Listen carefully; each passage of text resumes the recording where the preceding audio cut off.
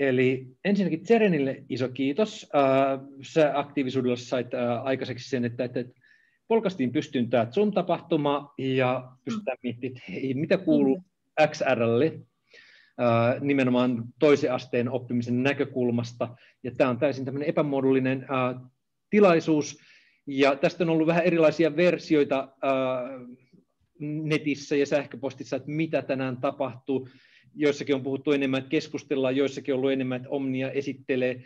Ja tota, sinänsä valmiuksia molemmille äh, lähtökohdille, mutta niin kuin tuossa ennen tallennusta puhuttiin jo, niin, niin tota, täällä on niin paljon uh, pro-väkeä eri, eri oppilaitoksista, että minusta olisi hirveän hyvä ensin käydä uh, snadi keskustelukierros siitä, että, että minkälaisia toiveita tai ajatuksia on. Ihan erityisesti kun mä katson osallistujalistaa 24 tällä hetkellä linjoilla, ja siellä on esimerkiksi uh, Minna Taivassalo OPHsta, joka ammatillisen digitalisaation kanssa paljon puuhaa ja pystyy antamaan terveisiä sitä kautta. Ja sitten on Poke, jonka mä tiedän uh, Pohjois-Keski-Suomessa uh, olevan hyvin, hyvin aktiivinen ja osaava, niin ainakin mä haluan, että he saa niin selkeän roolin tässä.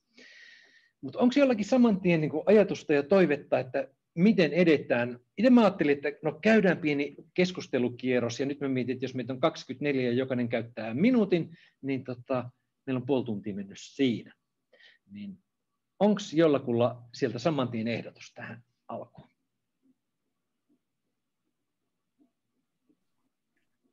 Ähm, mä ehdottaisin, että voitaisiko esittyä chatin kautta, koska se on ehkä niin kuin ikävä, jos suurin osa ajasta menee siihen esittäytymiseen ja sitten toisaalta ikävä, jos ei saa sanoa mitään muuta kuin nimensä. Niin jos chatin kautta voisi vähän esitellä.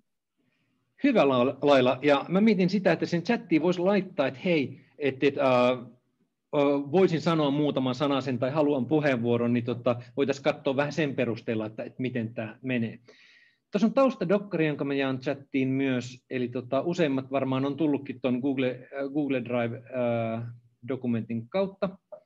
Mä laitan sen linkin tonne myös näkyviin. Ja se on siis yhteiskirjoitusdokumentti, johon ihan rauhassa itse kukin voi kirjoittaa sekä tota, omia tietojansa, linkkejänsä, että myös tuota muistioosuutta. Niin tällä tavalla ajattelin, että, että tässä, tässä tota, mentäisiin, mutta ehkä Zaran, äh, sorry, sä tota, aloitit niin, niin tota, tämän koko dominoefektin, niin Joo. mitä sulla oli mielessä? Mitä sä kaipaisit?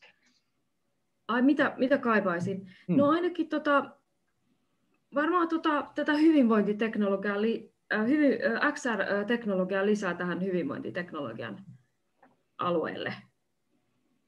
Että tällaisen niin kuin viestin mä oon saanut. Mutta ylipäätään robotiikkaa ja sitten tätä XR-teknologiaa, niin siis robotiikkaa ja sen oheisteknologioita. Ja, ää, ja se, se tulee just sitten, kun meillä on toi, tämä ollut, tota, mä olin tuossa hankehakemusvaiheessa tuolla Metropolian ammattikorkeakoulussa, RoboBoost, RoboBoost-hankkeen hankehakemusvaiheessa, niin sitten nyt kun mä oon aika paljon, kun mä koostin sitä sähköpostia, mä haastattelin yli 20 ihmistä suunnilleen, niin kyllä kaikki on tosi innoissaan ja tuntuu, että korona on vähän niin kuin, siis ylipäätään niin kuin ka- ka- kaikki nämä, ei pelkästään siinä RoboBoost-hankkeessa, mutta niin kuin joka paikassa, jotka on tässä niin kuin näiden aihepiirien parissa työskentelee, niin on tosi niin kuin, tuntuu, että heillä on tosi kova nyt, että vuoden on mennyt sillä, että äh, korona on vaikuttanut vähän joka puolella, mutta nyt tuntuu, että, että ihmisillä on sellainen noste ja, äh, tai sellainen tunne, että ne haluaisi tehdä, ja sitten on yhteistyöt alkanutkin, niin tota, toivoisi kovasti, että tulisi lisää tätä teknologiaa ja, se, ja, ja varsinkin tähän mä, äh, niin kuin hyvinvointiteknologiaan liittyen, tietenkin muihin, muihinkin kaikkiin, mutta tota, mä tulsin sitä, hyvinvointi, niin kuin sitä hyvinvointipuolelta ihmisiä aika paljon, niin tota, sellainen, sellainen tota, viesti minulla olisi. Joo, mutta, täällä, on, täällä on myös toi Santeri, tota, Santeri tota, Saarinen on sieltä Helsingin XR Centeristä, niin hänkin, jos hänkin sanoo, hän tietää vielä vielä paremmin. Ja, ja kiva. Joo, Santeri, ota koppi. Jes, saadaan muuten vielä pois päältä. Terve vaan. Tosiaan tulin enemmän kuuntelemaan, että mikä mielenkiintoista keskustelua täällä käydään ja tarvittaessa sitten kommentoimaan jotain, johon osaa lisätä. Ehkä en ota tässä kohtaa sen enempää puheenvuoroa, mielenkiinnolla odotan, että mitä tulee esille. Joo, Jerin mainitsi tuossa kaksi äh, teknologia-aluetta, äh, XR ja robotiikan, ja se, että mistä me oikeastaan tämän lyhyen sauman aikana puhutaan, jos ajatellaan XR varmaan niin kuin selkeimmin kuuluu tietysti VR- ja AR-teknologiat, ja sitten 360-teknologian avulla on tehty paljon interaktiivisia sovelluksia ammatillisella koulutuksella, ammatillisessa koulutuksessa, ja robotiikka on vähän niin kuin siinä vieressä, yhtä lailla keskeinen, mutta ei ehkä ihan, ihan just XRstä, niin tota, mä melkein näkisin, että, että, että äh, aloitetaan ainakin selkeästi sitä XRn puolesta ja sitten äh, tarvittaessa äh, piutetaan robotiikkaa siitä äh, reuna-alueelta mukaan. Toimiiko näin? Joo, hyvä. Ja Saran mainitsi, äh, sorry, Seren. No, joo, se ei mitään. Sere, Serena, Serena, Serenasta on helppo muistaa. tota, tota, tota, sen mainitsit uh, erityisesti tuon sote-puolen ja ainakin tota, uh, siinä on yksi konkreettinen alue, mistä lähtee liikkeelle. Ja kun mä laitan tuonne ton muistion, niin tota, jos sinne laitettaisiin vaikka tota, pientä listaa, että mitä teillä on kokemuksia soten ja XRN hankkeista, kokeiluista, toiminnasta. Jos teillä on jotain linkkejä, niin tuossa tuohon muistioon voisi hyvin, hyvin heittää, tota, ää, mä pistän sinne väliin otsikon sote et XR, niin tota, koska me ei pystytä kaikkea käsittelemään nyt, niin käytäisiin joku tämmöinen linkkilista, jota sitten jengi voi myöhemmin katsoa rauhassa. Ja se, mitä mä toivon, että, että, että joku, joka tällä puolella nyt on paljon tehnyt, tai Minna, jos sulla OPH-näkökulmasta on joku semmoinen hyvä taustattava puheenvuoro, niin samalla kun me laitellaan linkkiä tonne, niin joku voisi ottaa mikin auki ja kompata, jatkaa, mitä kuuluu sote XR puolelle.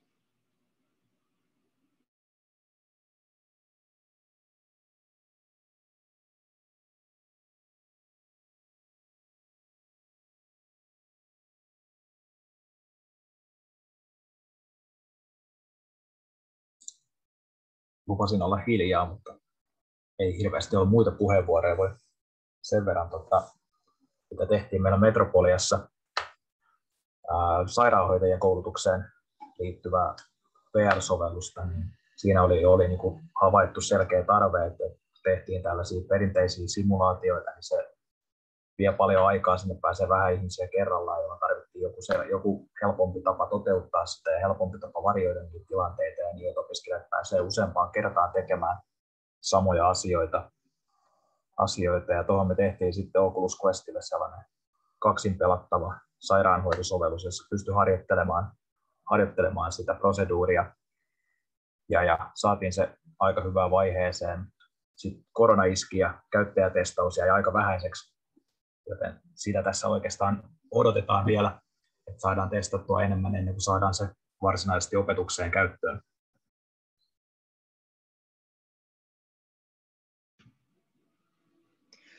Pekka taitaa olla sillä Poken linjoilla. Onko sulla jotain, mitä sä haluaisit kompata tähän?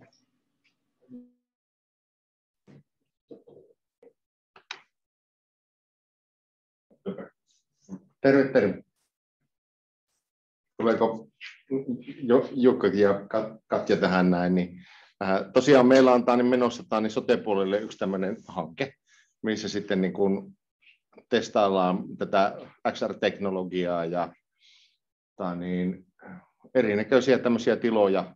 Tuossa mietittiin, mietin justiinsa, että ei, ei varmaan laiteta tämmöisiä demokuvia, mutta tuossa niin kuin Jukka muun muassa teki tämmöistä yhtä demoa tämmöisestä niin kuin tilasta. Ja mun mielestä olisi hirmu mielenkiintoista kuulla sitten, Tani, että minkä näköisillä, minkä näköisillä suunnitelmilla tai niin, niin, niin porukka on näissä tiloissa sitten ää, tehnyt näitä juttuja.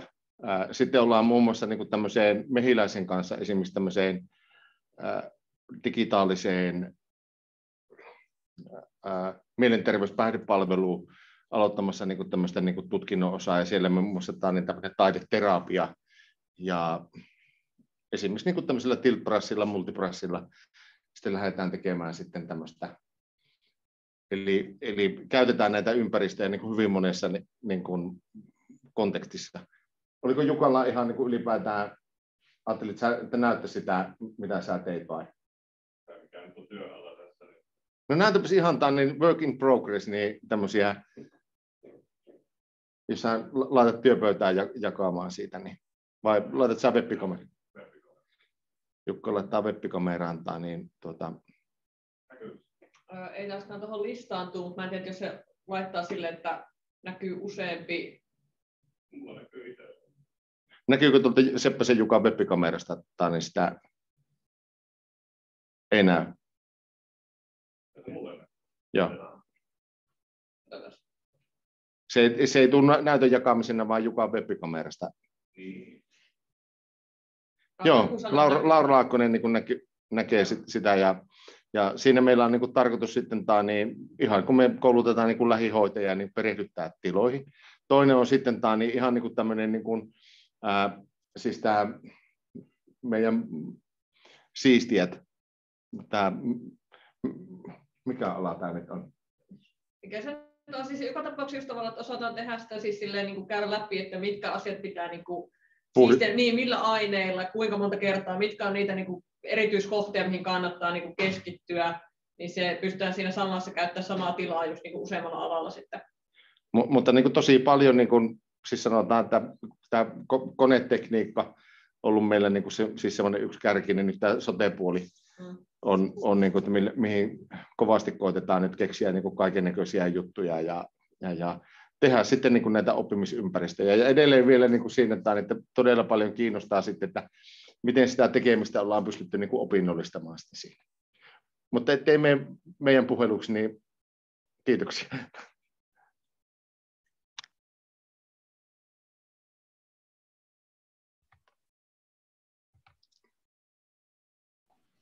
Mä voisin täältä kommentoida. Joo, Riika, Oliko joku just aloittamassa? Riikalla taisi olla käsi tuossa pystyssä jo. No niin, Hyvä. Annetaan Riikan ensin. Hei vaan kaikkia, ihan mahtavaa olla mukana ja ai että täällä on tosi mielenkiintoisia juttuja. Mä olen tuota, Riikka Marttinen tosiaan tuolta erilaisten oppijoiden liitosta, mutta tehnyt jo kauan näiden parissa töitä lähinnä kouluttajana ja kerännyt kaikenlaisia juttuja, mitä on tehty, toki ohjausryhmissä ja näin. Ja Mä oon itse asiassa tehnyt semmoisen Padletin, mutta mä en pääse tota, Seren, Seren jostain syystä sinne, mä pääsen lukemaan, mutta mä en pääse lisäämään, niin pystytkö sä lisää mun vaikka, sulla on mun sähköposti, niin mä voisin lisätä sen Padletin, johon mä oon nyt sitten Metropoliassa olin kouluttamassa tämmöinen virtuaalinen elämyshankkeessa, niin sinne on kerännyt mitä kaikkea VRR Suomessa ja maailmanlaajuisesti vähän sitten, niin siitä voi olla ehkä jollekin iloa ja hyötyä, ja sinne saa toki lisäillä mielellään kaikkea muuta. Mutta hei, mahtavaa olla mukana, ei muuta tässä vaiheessa, kiitos. Hei, jompikumpi teistä lisätä sen linkin tuohon Google Driveen? Aa, pystytkö sä lisää? Riikka, mä en tiedä mikä linkki, mikä se oli se linkki. Pystytkö laittamaan mulle Messengerissä tai sit lisätä tuohon doksiin? Ai niin, se, tuli, se tulikin no, tuohon. Niin, ah, okei, okay, joo. Mä voin lisätä. Tai no ihan miten, joo. Mitä vaan, joo. Hei, sitten tota, äh, siellä on äh, Sara. Joo, ole hyvä. Joo, kiitos Esko. Tosiaan Sara Käkönen 3D VRilta. Omnien kanssa ollaan kanssa näitä VR-ympäristöjä kehitetty ja tähän soteen liittyen niin tosiaan ollaan, ollaan tehty tota paljon esimerkiksi kotihoidossa toimimiseen näitä VR-ympäristöjä ja hyödyntää just nimenomaan sitä 3 60-kuvausta ja videokuvausta. Ja itse asiassa katsoikin, että Laura Laakkonen täällä Diakonia-opistossa on myös paikalla. Hänen kanssaan ollaan tätä myös yhdessä tehty, ja Laura on tietenkin tehnyt suuren panoksen tämän työn eteen, että saat toki tähänkin liittyen kommentoida.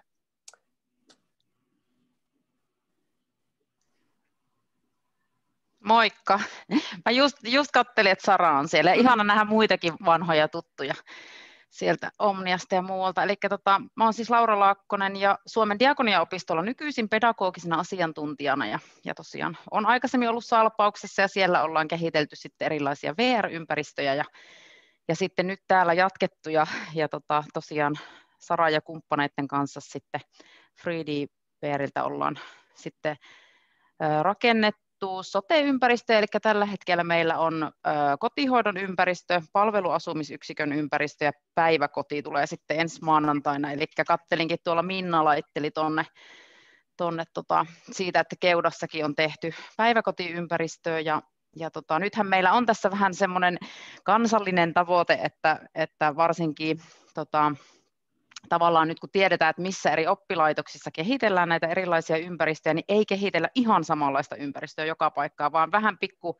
tota niin, niin, erilainen lähestymistapa siihen eri tutkinnon osiin erilaisilla kriteereillä ja, ja sitten ehkä mahdollisesti joskus voisimme jakaa näitä sitten yhdessä, mikä olisi tietysti ihan älyttömän kivaa, että, että kaikki vääntää näitä omissa tahoissaan, niin sitten saataisiin yhteisesti hyödynnettyä ne.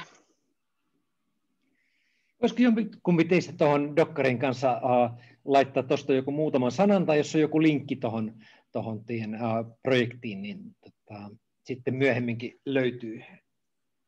Joo, laitetaan vaan. Eli mä laitoin just tähän tota, ihan uusimpana ton, mä olin aikaisemmin laittanut tuon mobile-version, niin tota, mutta ihan alimpana chatti, chatissa on se dokkari, doc, docs, niin tota, sitä pystyy muokkaamaan, niin sieltä voi lisätä ihan mitä haluatte. Niin tota. Hei, tota, Minnalla taisi olla seuraavana tassu. Joo, joo, joo, tassua oli pystyssä. Joo, me ollaan tosiaan tuota, opetushallituksessa paljon niin kuin, nyt mietitty tätä tulevaisuuden suuntaa ja sille, että mikä olisi se, niin kuin se oppijalle hyvää tai opiskelijalle hyvää se oppimisympäristö. Ja sitten kun näitä alkaa syntyä näitä hyvin monimuotoisia oppimisympäristöjä, tosi hyviä tämmöisiä niin kuin immersiivisiä, autenttisia niin kuin työelämän prosesseja niin kuin sisältäviä vaikka jotakin tehdä simulaatioita ja tällaisia, ja joskus niissä se oppiminen on niin kuin parempaakin kuin siellä oikeassa työelämässä, kun pystyy tehdä semmoisia asioita, mitä ei saa tehdä, että ei mitään niin kuin tehdasta saa alas ajaa tuosta vaan niin kuin harjoittelun mielessä, vaan sitten, että, että nämä niin kuin toimii tosi hyvin silloin, kun reaalimaailma ei ole mahdollinen.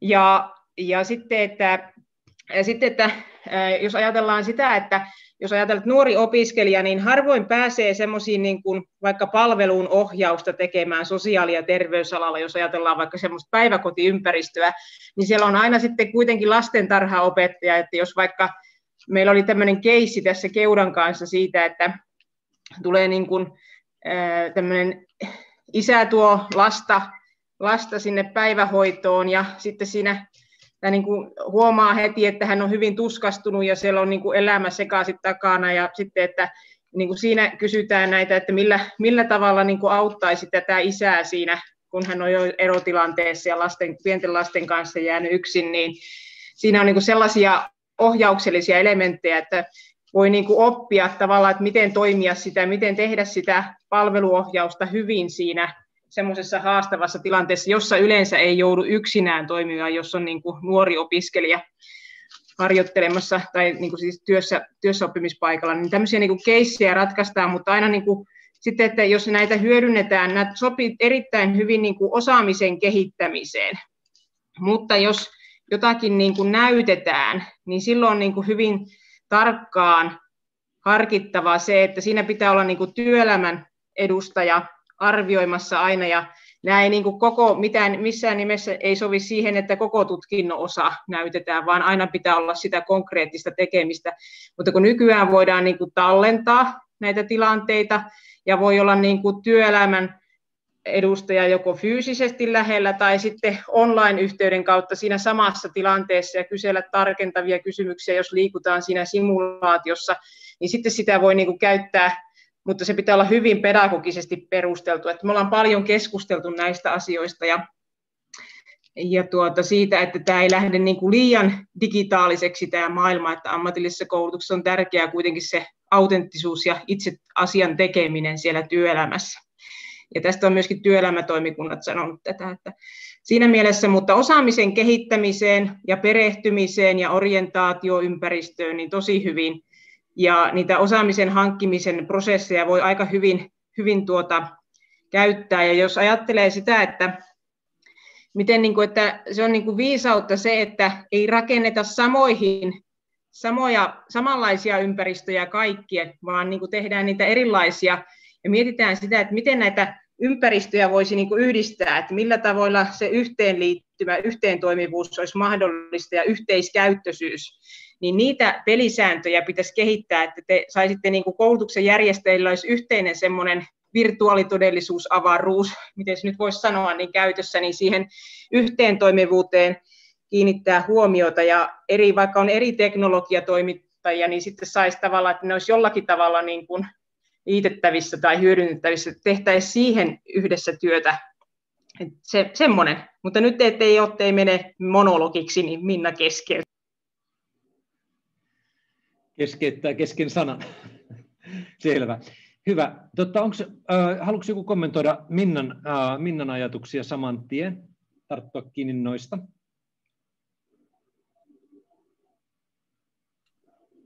Moi Eska. Hei Pete. Ja, saanko kommentoida siitä, että ähm, viime viikolla on ollut anteeksi, keskustelut siellä liiketalousopettajille, mikä on harvoin ähm, ajattelut, että semmoinen virtuaaliympäristö voisi palvella heidät. Ja sieltä syntyy semmoinen keskustelu äh, Microsoft Mesh-palvelusta, ja toivon, että me pystyy sitten tutkia siitä ja semmoinen sosiaalikokemukset virtuaaliympäristössä. Ja yksi, mikä Minna sanoi siitä, että missä on tämmöinen yhteinen tai se, mikä yhdistää kaikki noin virtuaali- tai lisätty todellisuusympäristö on noin 3D-mallinnukset.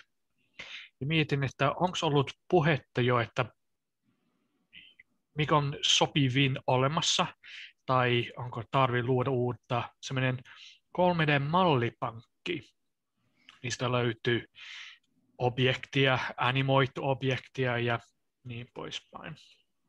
Sellaista tuli mieleen. No ainakin Pokessa mä tiedän, että on paljon tehty uh, mallinnukseen perustuen, niin onko teillä jotain ajatuksia tästä pankista?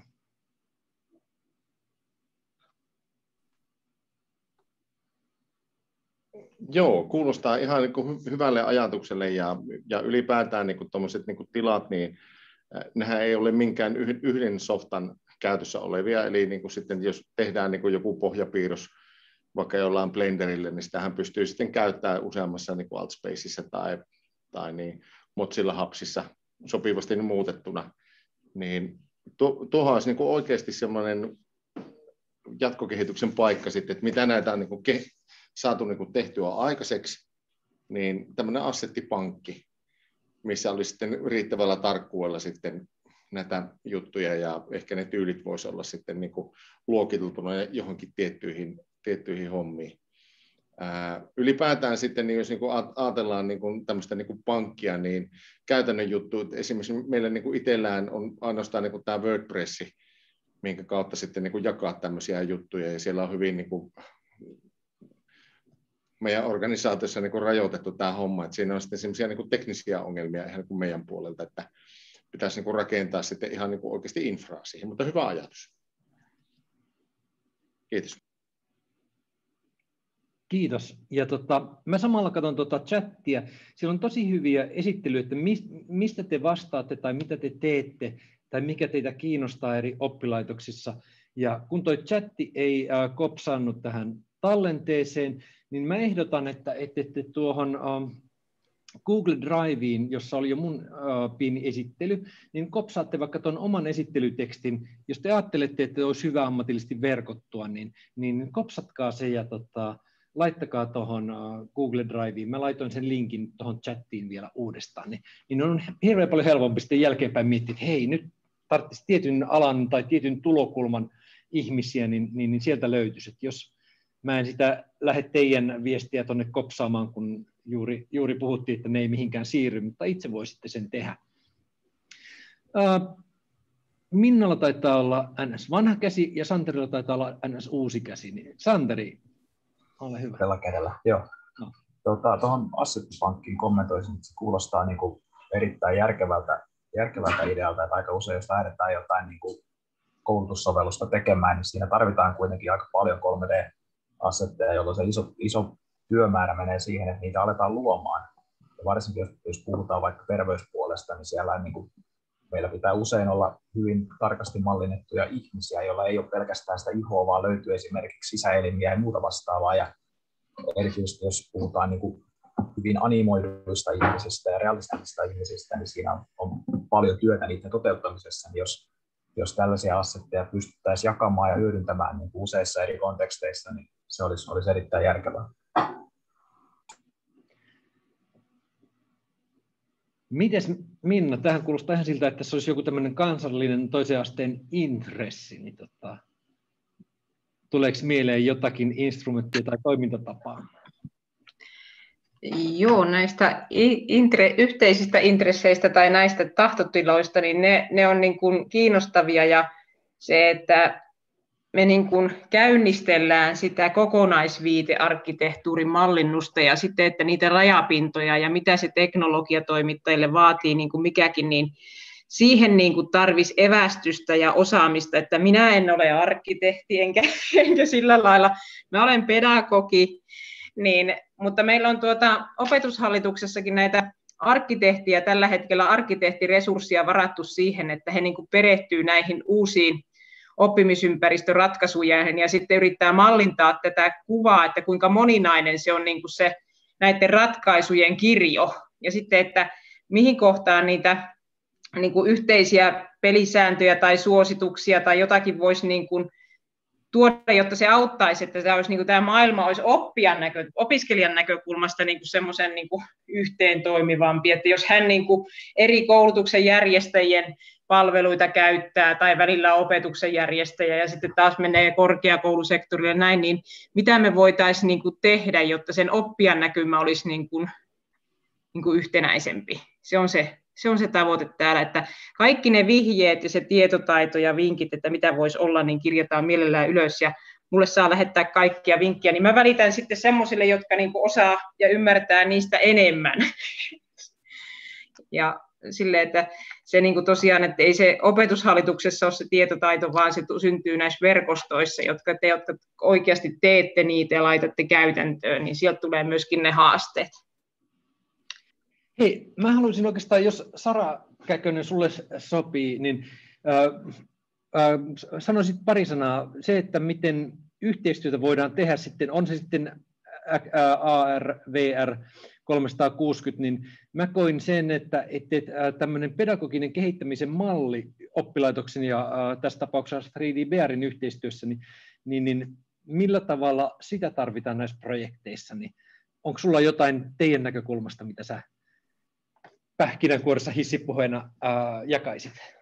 Joo, kiitos Esko. Sä tarkoitat varmaan nyt tavallaan sitä koko prosessia, että miten se käytännössä toteutettiin kyllä. Mä voin sitä pikkasen tavallaan jakaa, että se tavallaan meillähän se lähtökohta on se, että, että tota, näiden projektien aikana yhteiskehitetään sit opettajien kanssa näitä sisältöjä. Esimerkiksi Omniassa tehtiin puhtaus- ja kiinteistöpalvelualalle opettajat oli siinä vahvasti mukana, ja tavallaan se idea on just siinä, että heiltä tulee se heidän alan erityistietämys mukaan, ja meiltä taas se teknologian osaaminen ja sitten pedagoginen ja tämä niin pelillisyyden taustatekijät myös mukaan, että tavallaan että saadaan ne niin kuin tuotua yhteen siinä yhteiskehityksen aikana, ja niin kuin sen avulla saadaan tehtyä just pedagogisesti korkealaatuinen sisältö myös. Ja tavallaan sitten sit varmaan siihenkin oli vielä vielä tota viittausta, eli, eli tavallaan sen projektin päätteenä syntyy sitten just tämmöinen PR-ympäristö, mutta sitä idea on se, että, että sit opettajille jää taito tehdä tätä myös niin kuin jatkossa, että pystytään itse kehittämään noita VR-ympäristöjä.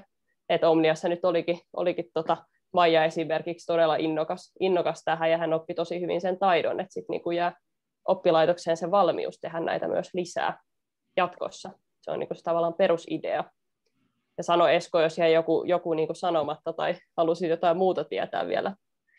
Joo, mä itse huomasin vain sen, kun mä olen tehnyt jotain esittelymateriaalia, että esimerkiksi näistä 360 pakohuonepeleistä, mitä tehtiin teidän kanssa yhteistyössä YTO ja ammatillisiin aineisiin tämmöisiä kombinaatioita, niin mulla on kyllä esittelyvideoita niistä itse uh, outcome, niistä niin kuin tuotoksista, mutta tota, oikeastaan olisi kiinnostavaa, ja mä luulen, että suurta porukkaa voisi kiinnostaa tai hyödyttää se, että me avattaisiin, tehtäisiin esitys sitä prosessista, että miten, miten tämä yhteistyömalli toimii ja, ja tota, miten se osaaminen kertyy siinä tuotoksen teon lomassa. Joo, Laura, Maija on, Maija on teillä. teillä. Se oli paha, paha tikki meille, kun just Maija pääsi niin hyvin, hyvin tota, kiinni. Joo, mun oli pakko laittaa tuohon. että osa, joo, osaamista puhuttiin, niin meillä on myös puhtaus- ja kiinteistöala, ja sitten seuraavana ruvetaan sinne tekemään, niin, niin sitten oli mahtavaa saada sellainen tyyppi, joka osasi jo tehdä niitä. Loistavaa. Mä hei Laila täällä komppaan tuota Eskoa, että, että se prosessin kuvaus olisi kyllä hirveän mielenkiintoinen ja opettavainen kaikille kaikille muillekin, että, että sitä aika usein sitä kuitenkin lähtee ehkä uudet ihmiset ja opittelee uusia asioita, ja ne lähtee nollasta, ja ne joutuu itse niin keksiä sen koko prosessin alusta loppuun, ja siinä tietysti on aina niitä ähm, korjaamisen kohtia, ja mennään edes takaisin, niin olisi hieno tuo prosessikuvaus kyllä.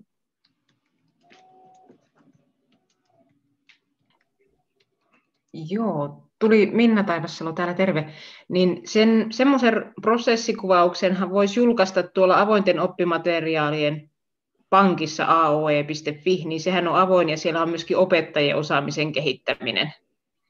Niin sehän ei niin kuin periaatteessa poissulje varmaan, että prosessikuvauksiahan siellä saa olla sekä niin opettajienkin oppimateriaaliksi. Tehän voisitte yhdessä tehdä sellaista.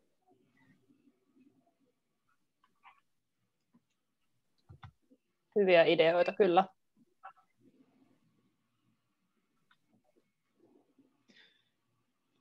Ja mä koitan samalla pistää näitä ideoita muistiin, niin mä oon vähän hidas, hidas äh, sihteeröimään ja äh, puheenjohtajan maan samalla.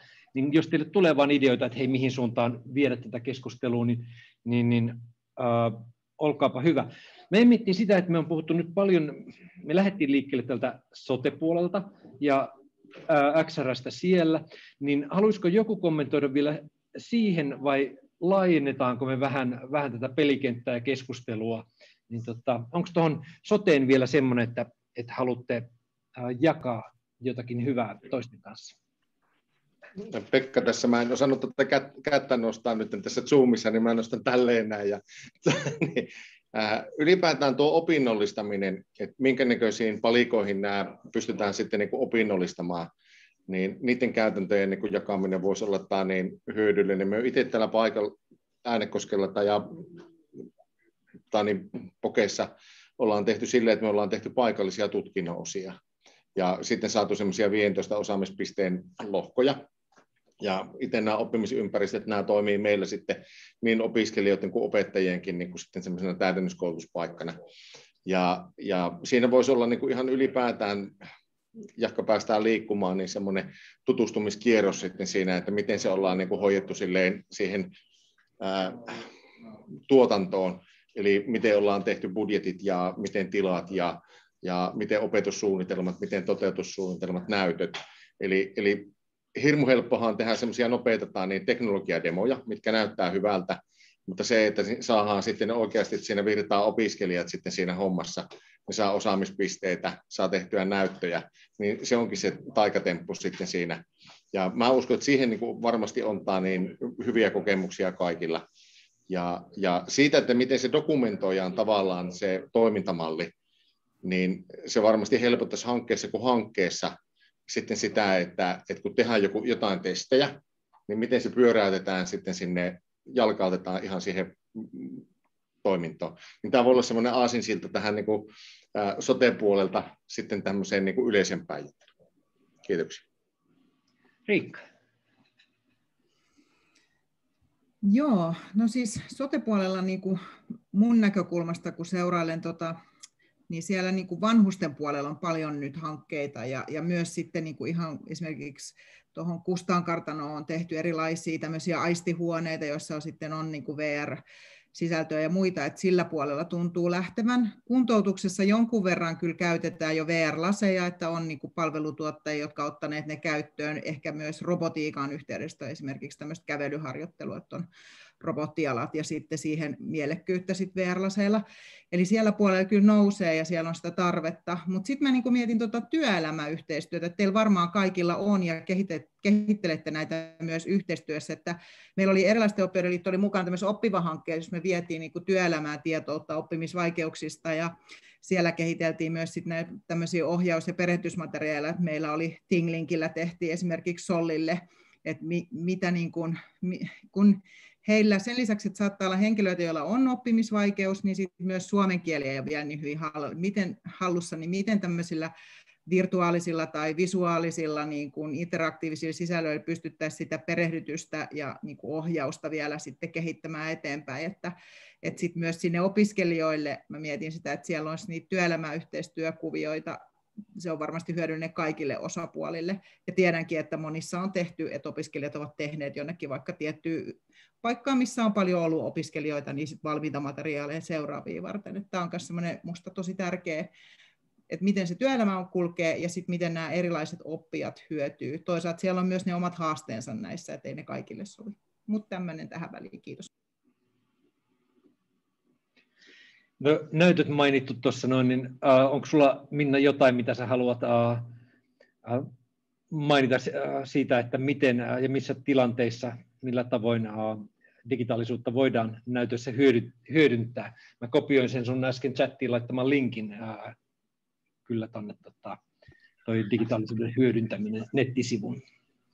Haluatko kommentoida? Joo, Ni, niitähän on niin kuin moni, niin monia eri tapoja. Ja se perinteisiä on tietenkin nämä verkkokokousjärjestelmät ja käydään se arviointikeskustelu siinä. Ja sitten on live-streamingit ja on niin kuin monenlaista, monenlaista tapaa. Niin kuin, ja sitten, että ketkä, että onko, onko niin kuin, sanotaanko opettaja online-yhteydellä vai onko sitten arvioija läsnä vai onko arvioija työelämästä, niin onko hän niin kuin online-yhteydellä tai onko tämä niin kuin, miten reaaliaikainen tämä juttu on ja näkyykö asiakas. Ja siinä on niin kuin monta, monta pelisääntöä, että ne pelisäännöt pitää aina sopia ja jokaisella pitää olla valmiudet tehdä niitä. Ja sitten tosiaan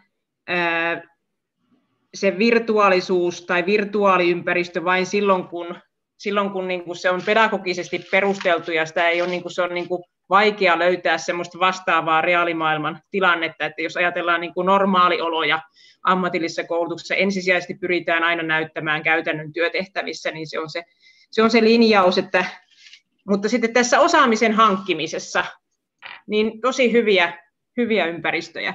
Mutta sen, sen haluaisin aina niin kuin sanoa, kun te lähdette suunnittelemaan tällaista ympäristöä, niin miettikää se aina tiettyyn kokonaisuuteen. Sieltä löytyy aina joku ala, sieltä löytyy aina joku tutkinto tai tutkintoja, joihin se sopii, tiettyjä tutkinnoosia, joihin se sopii, niin e-perustepalvelusta löydätte aina viimeisimmän voimassa olevan tutkinnon perusteen, ja siellä on ne ammattitaitovaatimukset ja osaamistavoitteet, mihin se niin kuin liittyy se asia, että sitä ei niin kuin ympäristöä niin kuin, suunnitella, että se olisi niin kuin, että se on niin semmoinen yleinen, vaan miettikää se, että mitä tutkinnon osaa tai osia se palvelee, tai sitten niiden osan osia. että siinä on niin kuin se, niin kuin siihen valtakunnallisiin perusteisiin niin kuin se kytkentä aina, ja sitten kun perusteet vaihtuu, niin sitä päivitettäisiin, sitten tarkistettaisiin. Ja siellähän voi olla eri näkökulmia. Esimerkiksi kestävä kehitys autoalalla, semmoisia on tehty.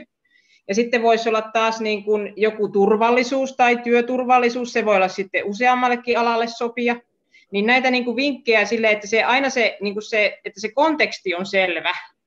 Ja sitten, että ennen kuin tosiaan, että kehitetään sitä ympäristöä, niin mietitään, että mikä tutkinnon osa, mitkä sisällöt.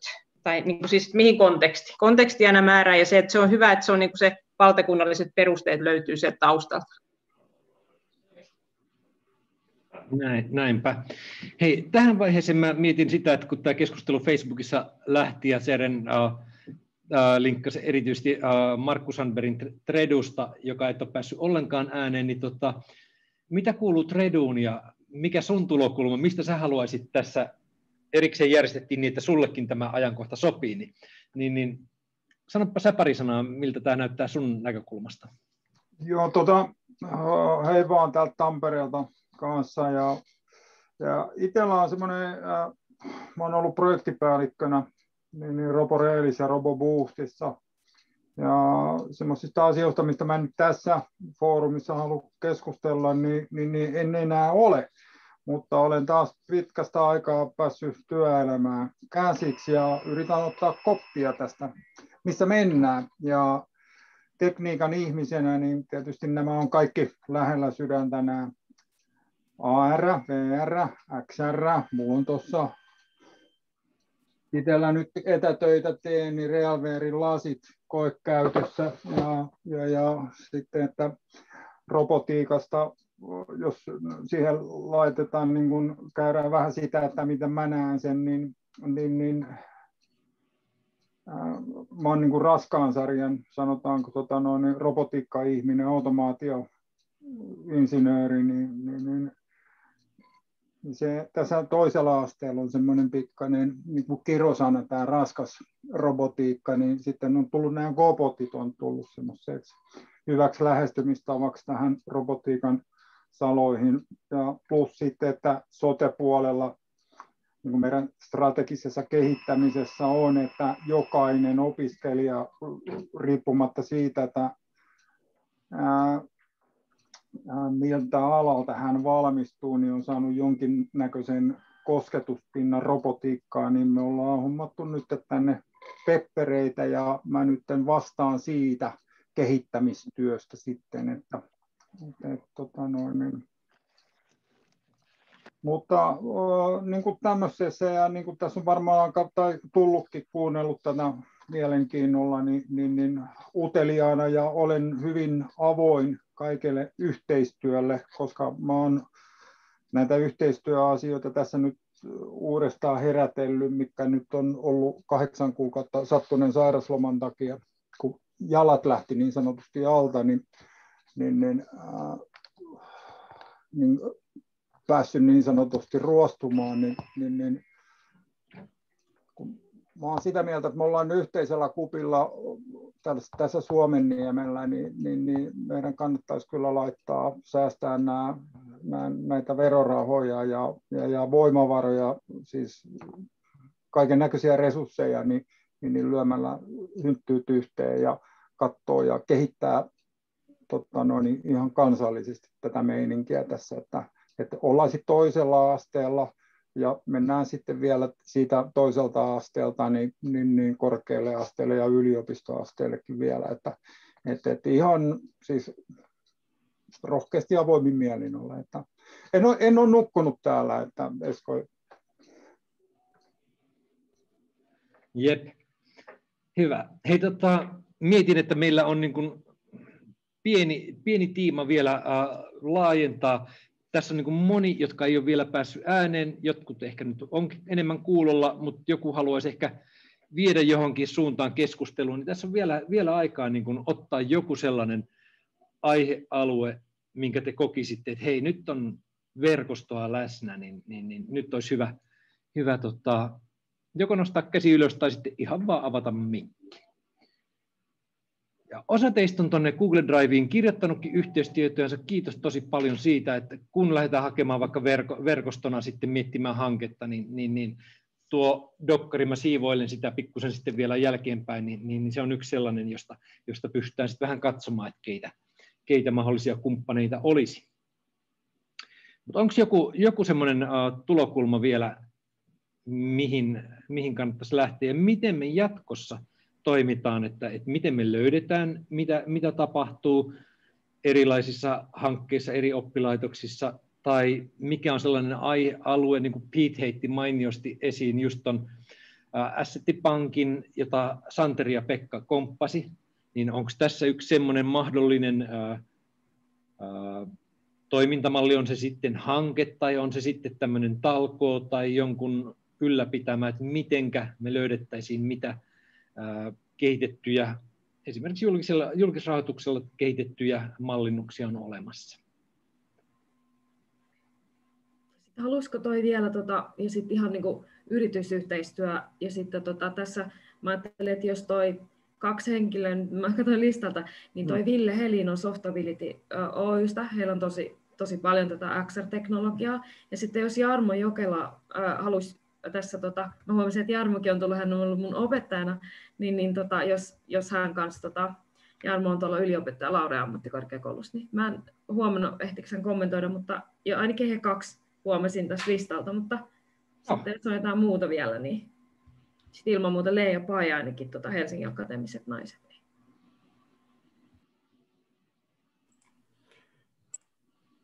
Joo, Jorma Jokila täällä nimi on mainittu, niin ihan sen, sen takia tämä on tosi hyvä tämä seminaari, eli tämmöistä pitää niin kuin enemmän olla, ja koska tämä on, niin kuin sanotaan, tämä hajallaan tämä koko tämä kenttä, ja niin kuin tosiaan, että meillä ei varaa pienenä maana kauheasti jakaa resursseja, sanotaan armeijan termin pieniin partioihin ympäri maata, vaan painopistesuunnassa pitäisi olla riittävästi, ja tämmöiset kirjastot ja muut. Ja jotenkin miettisi, olisiko tämmöinen verkoston niin kuin rakentaminen tai joku tämmöinen niin XR-verkosto, jossa sitten parhaita käytäntöjä voisi sitten niin kuin tuottaa ja toteuttaa ja tonin, jakaa sitten muille ja kouluttaa esimerkiksi.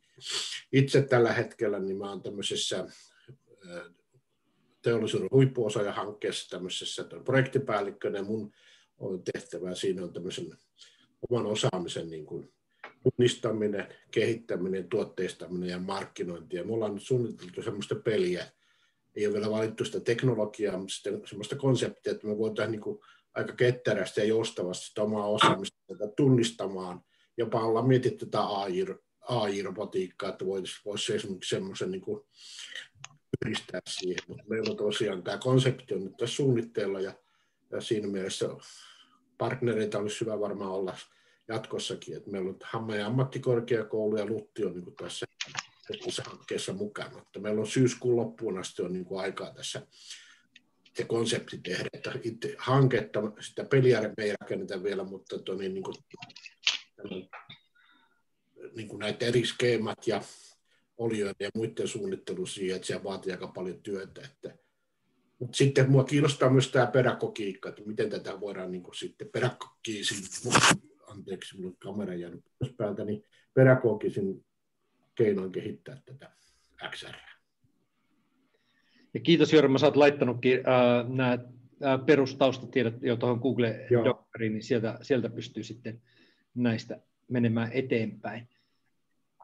Mä kommentoin, saan kommentoida tähän, tämä, että mitä Jorma tässä sanoikin ja peräänkuulutinkin omassakin, mitä tässä kerroin, niin tätä, että me ollaan, me ollaan pieni maa, niin, niin, niin lyödään yhteen ja sitten toinen näistä tämmöisistä aseteista takaa tämmöisistä kirjastojen tekemisestä, niin, niin, niin äh, mun mielestä on aina vaari. Mä oon huomannut itse 15 vuoden opettaja ja sitä ei aikaisemminkin niin, niin, niin teollisuudessa, kun olin töissä, niin jos talkoilla ruvetaan tekemään, niin, niin siitä ei ihan oikeasti siitä ei tule kunnollista, että, että just tämmöinen vaikka kartoittaisi jotain hanketta tai tällainen, että, että, että se ei, vähän pistetään vastuuta siihen, että saadaan jostain rahaa, niin, niin niitä, kun saadaan rahaa, niin se muodostaa sitä vastuuta, että siitä myöskin tulee jotain. Tämä on nyt ihan puhtaasti minun mielipide.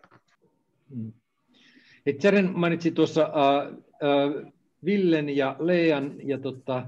Kai Martiskainen on ainakin Omniasta teiltä, niin jos Kori mä ainakin huomaan, niin, mutta mä en tiedä, voi olla muitakin, ketkä ilman muuta voi puhua. Villelle seuraavaksi vuoro.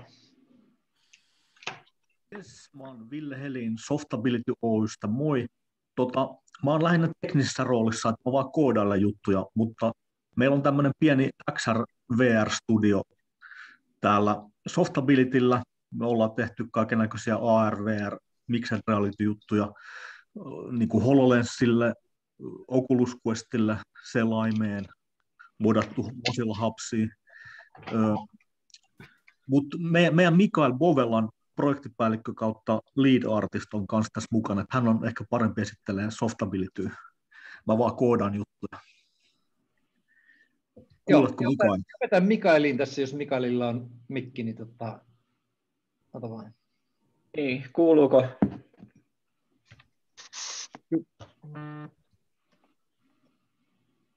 Kuuluu. Kuuluu, joo. No niin, hyvä.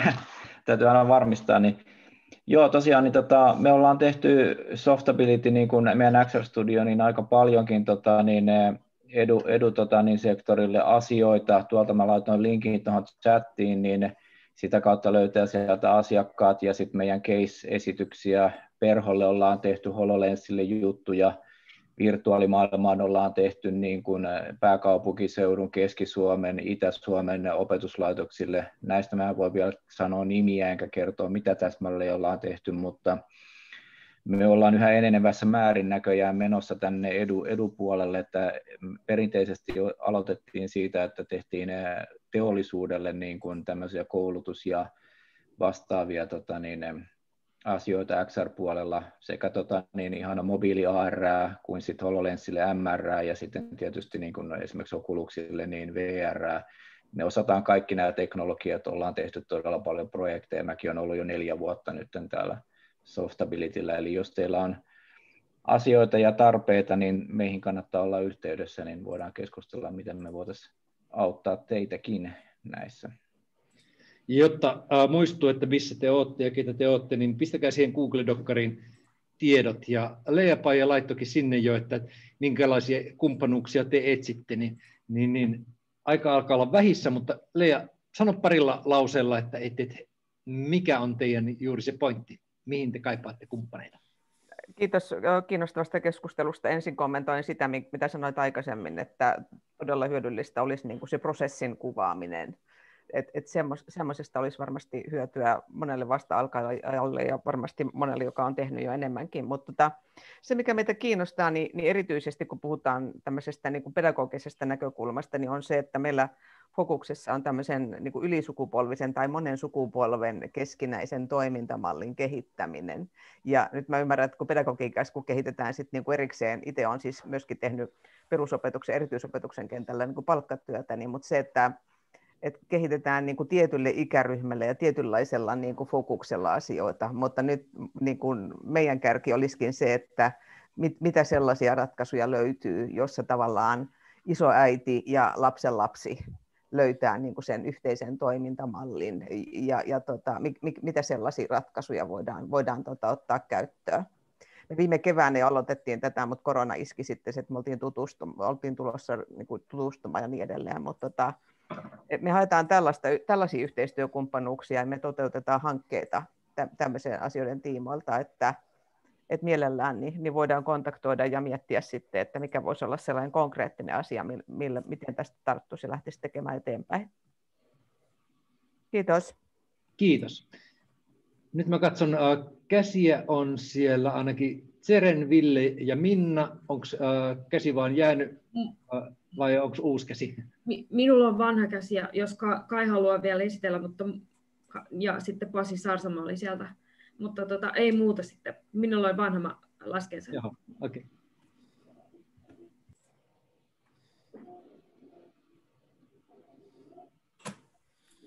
ilmeisesti, jos, jos pyydetään esittäytyä, niin kai sitä täytyy hiukan, otetaan tuosta vähän kuvaakin, niin näette minkä näköinen heppu on kyseessä, niin tosiaan Kai Martiskainen Omnia, ja tota, tällä hetkellä kolme, kolme OPH-hanketta vedossa, vedossa ja tuossa tota, aikanaan osa tästä porukasta on, on tuttua tuolta M. Ramiksen ajoilta. Siinä, siinä olin projektipäällikkönä ja sitten muutama on Roboriilistä tuttua, että Markku eri toten niin mukava kuulla, että mies on mies on palannut taas elävien kirjoihin. Oli hauska kuulla miehen ääni. Soitellaan tuossa myöhemmin, mutta tota, ää, mulla oikeastaan niin jos, jos chattipotit porukkaa kiinnostaa, niin mulla on, mulla on OPH rahoittamana semmoinen hanke menossa ja sitten on vähän tuossa tuossa tällä hetkellä ruokatulostusta yhdessä OPH-hankkeessa, niin ne on niin kuin mulla tällä hetkellä työn alla, että, että Poken kanssa tuossa jotain keskusteluaiheesta on oltukin, mutta tällä hetkellä ei tosiaan niin 360 kuvaamisen lisäksi ole mitään VR tai AR liittyvää niin kuin työn alla, mutta tota, katsotaan mitä tulevaisuus tuo tullessaan. Mutta tämä lyhyenä esittäytymisenä mun täytyy tuonne Suomen elektronisen urheilun liiton kokoukseen mennä seuraavaksi, niin tota, toivotan kaikille hauskaa vappua ja poistun tässä nyt sitten samalla linjoiltakin. Että. Kiitos, hyvää vappua. Kiitos Kaitsu, samoin. Ja mä lisäsin nuo sun mainitsemat aihealueet tuohon Google-dokkariin, niin ne löytyy sieltä ja Kain nimi. Niin, tota, aika, aika rientää, niin uh, tähän vaiheeseen haluaisin uh, kysyä sitä, että Tämähän oli tämmöinen ad hoc, että kokeillaan minkälainen verkosto, uh, minkälainen informaali tapaaminen tästä löytyy. Miten te haluatte, että jatketaan? Ensinnäkin, että missä jaetaan, ja varmaankin tämän Google-dokumentin, ja sinne tulee tuo tallennelinkki, niin se on hyvä olla näkyvillä jossakin, että mähän voin tietysti vaikka heittää LinkedInin sen, ja sitä kautta löytää joku, joka nyt sitten, ja te voitte sitten jakaa sitä tai laittaa itse tätä eteenpäin, mutta meillä ei ole mitään semmoista selkeitä selkeitä tyyssiä kotipesää tälle? Se on yksi kysymys. Missä jaetaan? Toinen kysymys on se, että miten me edetään, että, että onko tarvetta, onko esimerkiksi robotiikka semmoinen, että otetaan vielä toukokuun loppuun tämmöinen toinen vastaava, ne joita kiinnostaa robotiikka niin, tai ohjelmistorobotiikka, niin mennäänkin sillä kärjellä, otetaan toinen, niin, niin, niin onko tähän ehdotuksia? Tossa, jos me mennään ammatillisen koulutuksen näkökulmalla, niin se ainakin se AM Digi Facebook-ryhmä, missä on nämä oppimisympäristöjen kehitti, siellä ainakin saa jakaa. Tai niin kuin olisi hyvä, koska siellä on se, tämä teema on aika akuutti, kun siellä on VR- ja AR-hankkeita ja on just Vetpottia ja tässä on porukkaa kanssa, mitkä on sieltä hankkeista. Mä mietin, että onko mä edes sellaisessa, ai niin, siis, niin se AMDIGI 2020. Niin? Joo, joo, se mikä silloin aikoinaan perustettiin, että olisi joku paikka, epävirallinenkin kovin. Älyttömän hyvä. Epä... Joo. Mä en itse asiassa tiedä, mikä sen, mikä sen ryhmän nimi on. Mä lisään Aa, nyt Google-dokkari. Okay, joo, joo. Okay, Aika sinne ylös, mä lisään sinne no, okay. ryhmä. Liity tähän. Ken Facebookissa on, niin tota, nyt se on tuolla heti tämän Zoom-kokouksen tietojen alla. On... Mä voin lisätä sitten kaikki, ketä mä tunnen tästä kokouksesta, niin siihen ryhmään myös. Joo. Joo. Hyvä. Nyt kello on 12. Mulla itselleni on, on vielä pieni tovi aika mahdollista olla tässä, mutta mä tiedän, että varsin monella on taimattu niin tiukasti, että seuraavat painaa päälle. Niin kiitoksia kaikille teistä. Mä lopetan nyt ton tallentamisen tässä vaiheessa ja me voidaan vielä sitten keskustella, että miten, miten me jatketaan. Ja te, jotka katsotte tallennetta, niin huomatkaa tuo Facebook-ryhmä, ja sitten ainakin mä nyt pystyn helposti lupaamaan, että, että mun eli Esko Liuksen äh, LinkedIn-tilille mä laitan jonkun linkin sitten eteenpäin. On jotakin olemassa. Mutta tallennus päättyy nyt